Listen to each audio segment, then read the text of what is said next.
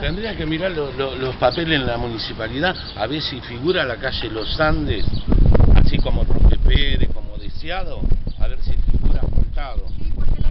Porque eh, la mayoría de la gente, yo hace 22 años que vivo acá, la mayoría de la gente dice de que ellos fueron muchas veces a la municipalidad y le dijeron que estas calles estaban asfaltadas.